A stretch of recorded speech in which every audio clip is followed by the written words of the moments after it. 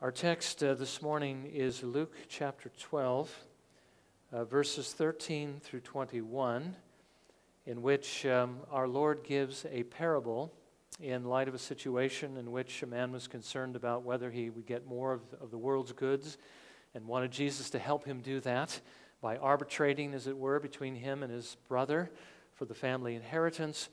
Jesus gives a parable about a rich man who had lots of riches, wanted to build bigger buildings to house all those riches and just kind of take it easy, but didn't realize his life that night was going to be uh, required of him, and he wasn't going to be able to enjoy those goods, and neither was he going to enjoy anything because he hadn't prepared. He hadn't trusted in the Lord, he hadn't lived for his glory, and so now he had to face the consequences. Well, let's read about this in Luke 12, verses 13 through 21. Someone in the crowd said to him, Teacher, tell my brother to divide the family inheritance with me. But he said to him, Man, who appointed me a judge or arbitrator over you? Then he said to them, that is to his disciples, Beware and be on your guard against every form of greed. For not even when one has an abundance does his life consist of his possessions. And he told them a parable, saying, The land of a rich man was very productive. And he began reasoning to himself, saying, What shall I do, since I have no place to store my crops? Then he said, This is what I will do. I will tear down my barns and build larger ones. And there I will store all my grain and my goods. And I will say to my soul, Soul, you have many goods laid up for many years to come. Take your ease, eat, drink, and be merry. But God said to him, You fool, this very night your soul is required of you. And now who will own what you have prepared? So is the man who stores up treasure for himself and is not rich toward God.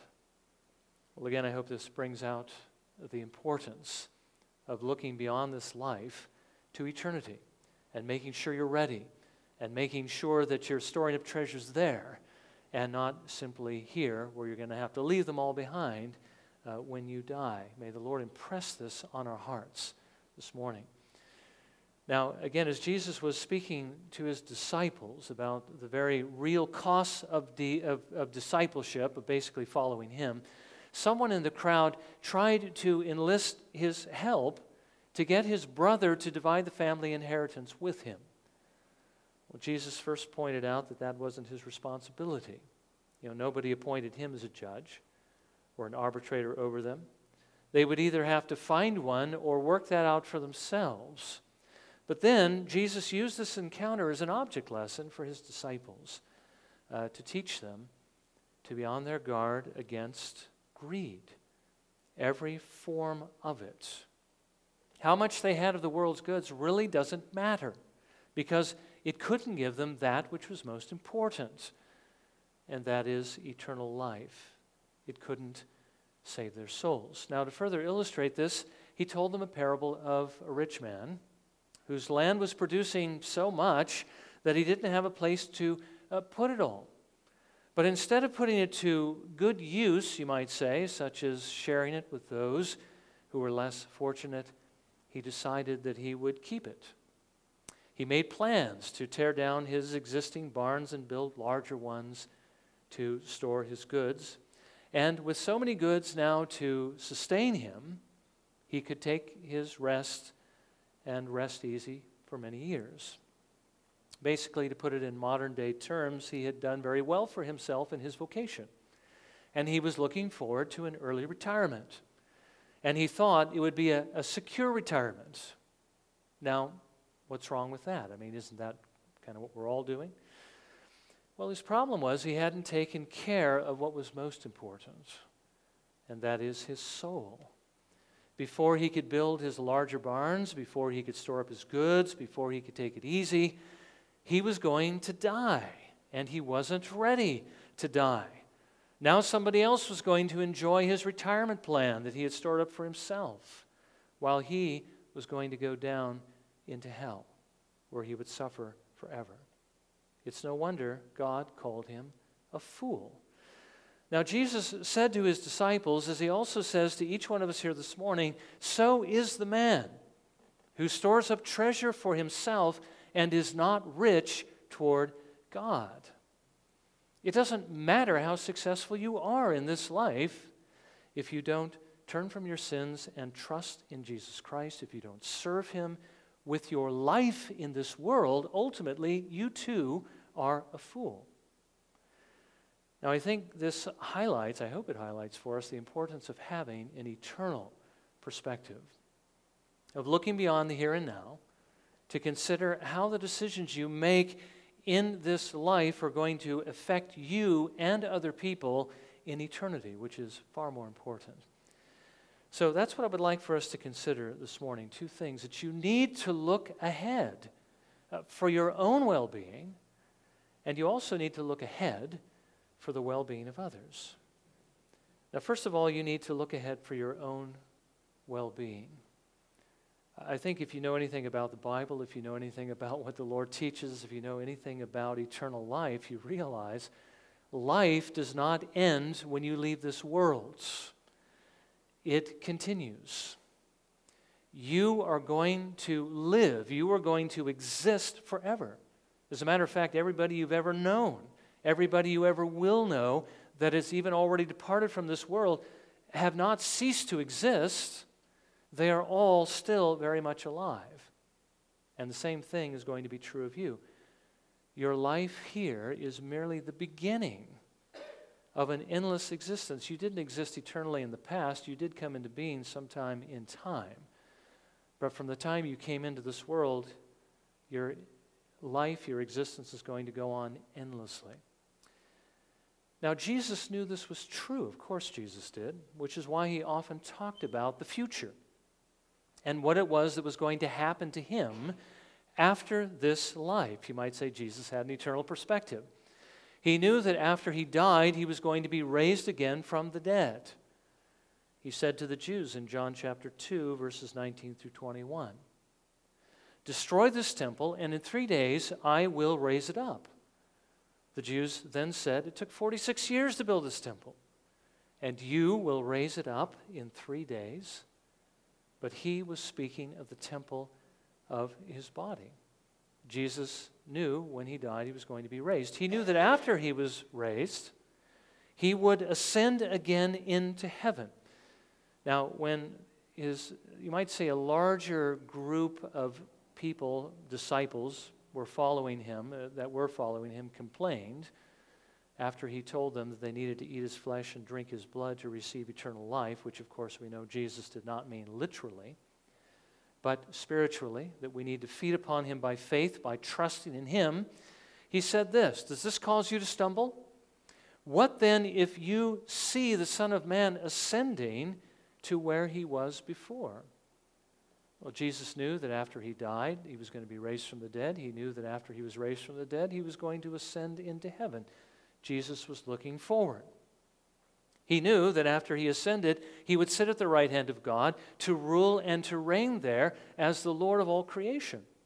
He said to the elders of Israel when he was on trial. But from now on, the Son of Man will be seated at the right hand of God, or at the right hand of the power of God, which means he would have the place of honor and authority as King of kings and of Lord of lords. Okay? Jesus was looking forward. He knew that there was a day coming in which he would judge all men at the final judgment. He said to the Jews, For not even the Father judges anyone, but he has given all judgment to the Son, so that all will honor the Son, even as they honor the Father. And he said to his disciples, But when the Son of Man comes in his glory, and all the angels with him, then he will sit on his glorious throne all the nations will be gathered before him, and he will separate them from one another, as the shepherd separates the sheep from the goats. And he will put the sheep on the right and the goats on the left. And you know, then takes, takes place the final judgment. Jesus knew he would be seated on that throne and that he would judge all nations. And he also knew that he was going to enjoy the blessings of heaven with his own redeemed people throughout, uh, really throughout all eternity. he prayed in his high priestly prayer Father, I desire that they also, whom you have given me, be with me where I am, so that they may see my glory which you have given me. For you loved me before the foundation of the world. Now, you see, this, this perspective that Jesus had, this view that he had, that this wasn't all that there was, that there was a heaven that there was a reward, that there was glory to be gained, that there was a Father to be honored, an eternity to prepare for his people. It, it helped shape everything that Jesus did while he was in this world. This was the time to work so that he might enter into his rest. Rest was coming later. This was the time in which to humble himself, that he might be exalted when his work was done. This was the time to suffer in order that he might gain the reward. Jesus did not work to store up treasures on earth. He lived to gain treasures in heaven. And the question, of course, that this asks you this morning is do you have that same perspective? Are you living for the life that is coming? Or are you living only for this life? Now, what kind of a difference should this make? Well, the first difference it should make is that you, if you're living for the life that is to come, the first thing you're going to do is make sure that your soul is safe. You won't make the same mistake that the rich man made, setting your eyes on the things of the world and neglecting your soul. You'll make sure your soul is secure by turning from your sins and by trusting in the Lord Jesus Christ. You'll realize that, that God's not going to accept you as you are because you are not good enough. You have sinned against Him. You need a payment for that sin. You can't pay it because the debt is infinite. You've sinned against an infinitely holy God. And so you will trust in the Lord Jesus Christ, the one that He has provided. You'll trust in Him to pay for your sins. Jesus provided not only, well, he provided an infinite payment on the cross to take care of your sins. You will trust in his obedience. I mean, the Lord requires that you obey him perfectly throughout life and do everything perfectly, but you've done everything imperfectly. So you will trust in Jesus' perfect obedience for your righteousness to make you acceptable to the Father.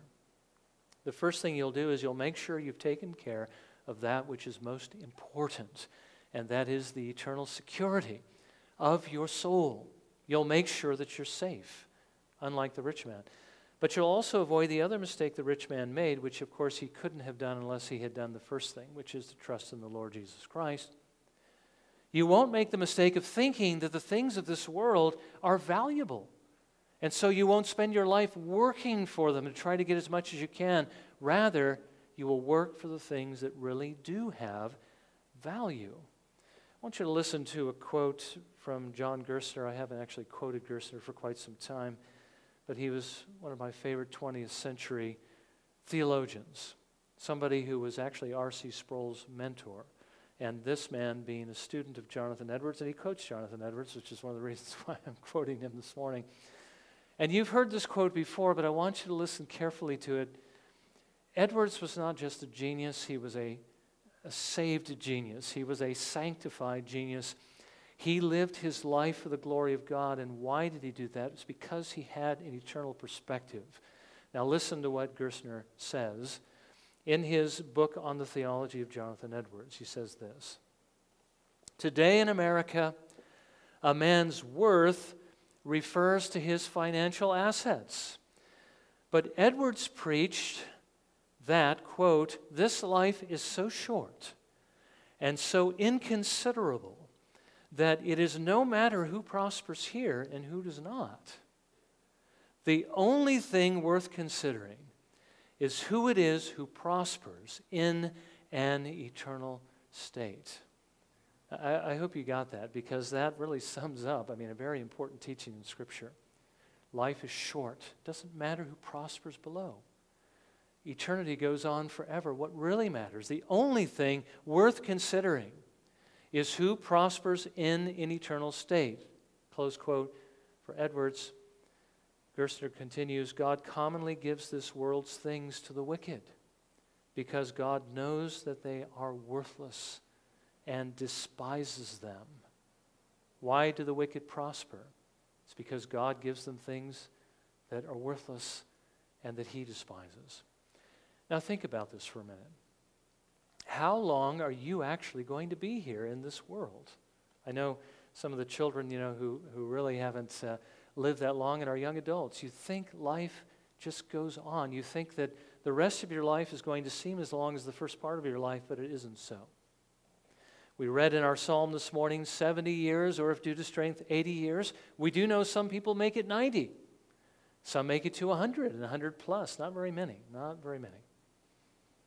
But how long are you going to live in the eternal state? 70? 80? 90? 100 trillion years? No, actually, it's far longer than that. You can't even begin to number the years that you are going to exist after this world.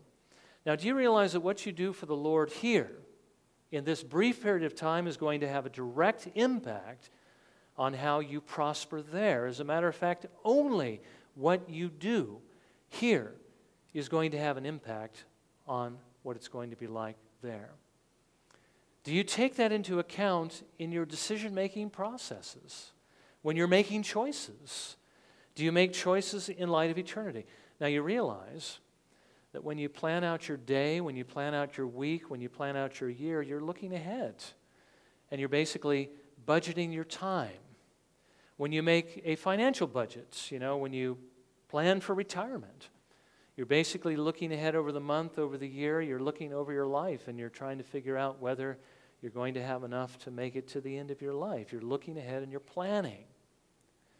But how often do you look ahead and plan with regard to eternity?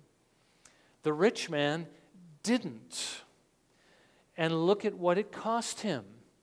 It cost him everything he had. It cost him his soul. It cost him an eternity of suffering. Jesus did look ahead and look at what he gained. He gained glory, he gained honor, he gained reward. Think about what you're doing with your life. Are you living with an eternal perspective? Think about the vocation that you're in, or maybe the one that you're preparing for or hoping that you're going to go in. Is that something that will glorify God? If you're in a vocation right now, are you working for the glory of God? Uh, think about how you're using your time in light of eternity, your strength, your energy, your spiritual gifts, your natural talents, the resources that God has placed at your disposal.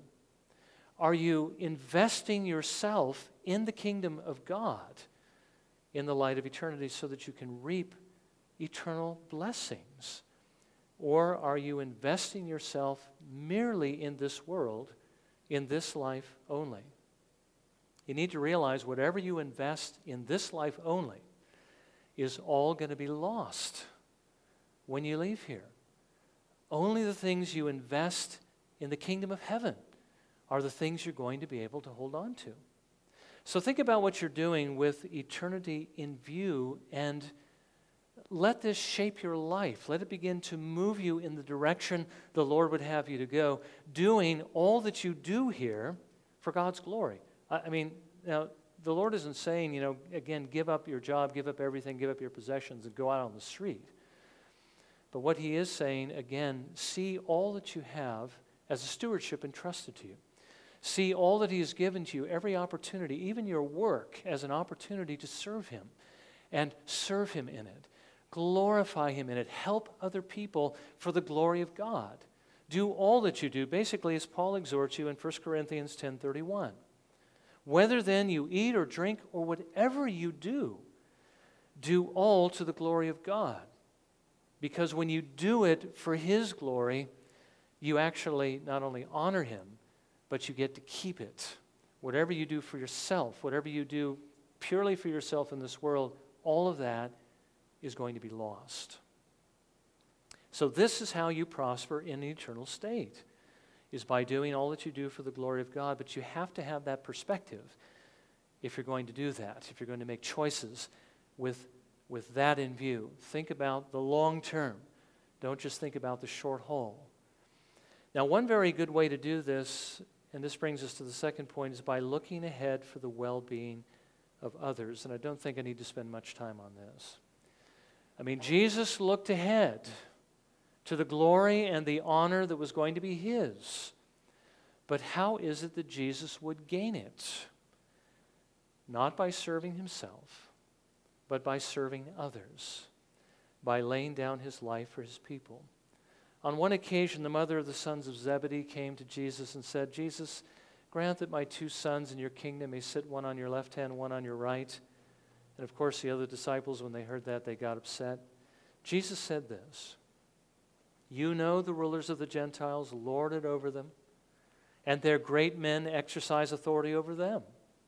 It is not this way among you, but whoever wishes to become great among you shall be your servant, and whoever wishes to be first among you shall be your slave.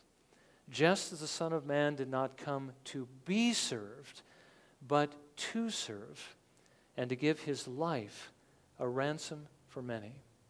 Now, Jesus lived for others. He didn't live for himself, he lived as a servant. There's a sense in which Jesus lived his entire life, we might say vicariously, which means not for himself, but for you. He lived for you as a servant to you and to all who would basically put their trust in him. He lived as your representative, he lived for your benefit. That's also why he laid down his life for you on the cross if you're trusting in him this morning. But remember, Jesus didn't do that just to benefit you, he did that to be an example to you of how you are to live. Jesus said to his disciples, This is my commandment that you love one another just as I have loved you. Greater love has no one than this, that one lay down his life for his friends. Jesus laid down his life for you. And he tells you that you are to love others by laying down your life for them. So as you look ahead to what the eternal state holds for you, think about what Jesus calls you to do for one another. How you are to love one another, how you are to serve one another, care for one another, build each other up in Jesus Christ. Try to outdo one another in showing honor to one another, not trying to get honor from one another. And as you do these things, basically you make the eternal state that much better. It's not going to be the same for all. I mean, everyone who is there in, in, uh, who's trusted in Christ and who is with the Lord in the new heavens and the new earth is going to be fully blessed, but there are going to be some who are going to be blessed more than others. And so, as you give yourself to glorify the Lord, you make things better. As you look ahead, think about serving one another. But secondly, as you look ahead, don't forget about your neighbors who are still in darkness, who are ignorant of the gospel. I mean, there are reasons why people aren't saved. One, one reason is they know the gospel and they hate it and they're not going to receive Christ. Well, only God can change their heart. But another reason is they haven't heard the gospel. They still need to hear it. There's lots of people who do not know what it is. Think about them. Think about what's going to happen to them if they don't hear the gospel. Think about what's going to happen if they don't repent and trust in the Lord Jesus Christ. They're going to suffer in hell for all eternity, like the rich man who did not prepare himself for death. Think about what you can do to save them from that fire. You can share the gospel with them. And again, there's a variety of ways you can do that one on one. Building relationships is the best way to do it, but certainly inviting people to come to church, inviting people to come to the movie nights, that's another way you can do it. When you do that, not only is, the very, is there a very real possibility that God's going to save them, but you're going to be able to look forward to an even better situation in eternity just for making the effort. You see, the Lord doesn't reward you based upon the results of your service, He rewards you on the basis of your service. The results are entirely in His hands. So all you have to do is make the attempt, and God will reward you for it. Well, I hope you get some idea of how an eternal perspective helps to shape your decision making processes as far as what it is you're going to choose to do, what you're going to choose not to do. I mean, this is also very powerful in helping us resist sin. If I'm being tempted by sin, think about if I make this choice, you know, I might get some kind of gratification here for a moment, but what's it going to mean in the light of eternity? Grieving and quenching the Holy Spirit, having to, to recover from that sin, having to get back on my feet and get into a position where I can again serve the Lord and begin to stir, you know, store up treasures in heaven. We need an eternal perspective. So may the Lord help us to be able to live in the light of eternity. May He give us that perspective that we need to see things as they really are and to do the things that are most important. Well, let's, let's bow for a moment of prayer and let's ask the Lord to help us uh, do that.